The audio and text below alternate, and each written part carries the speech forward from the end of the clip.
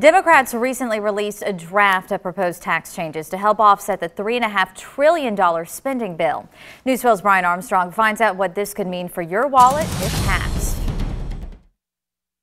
Anybody that's going to have long-term income of, you know, somewhere between seventy-five and eighty thousand dollars and up, you know, taxes may increase for you at some point. We just don't know when and we don't know how much. Financial professional John Vandergriff with Blue Ridge Wealth Planners says the changes would impact corporate and individual tax rates. The corporate tax rate would jump 26.5% from its current 21%. The top tax bracket for married people starts at about $650,000. They're dropping that down to $450,000 and increasing the percentage. That should signal for all of us is the sign that we are migrating toward tax increase.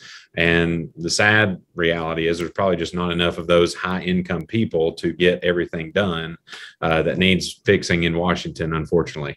He says these are just proposed changes and expect to evolve as both Republicans and Democrats work together. However, if a compromise isn't reached by October 1st, we could see a government shutdown the people in Washington get the pressure from everybody else to say, "Hey, figure out your stuff and get back to work." Uh, we didn't elect you to be here and fight with each other. We elected you to do the business of the country. Vandergriff says tax decisions now can impact you years down the road in retirement. We need to also look at the diversification of tax types of accounts you know, if we have all of our monies inside of a 401k or an IRA, we are 100% affected by when tax changes happen with income tax.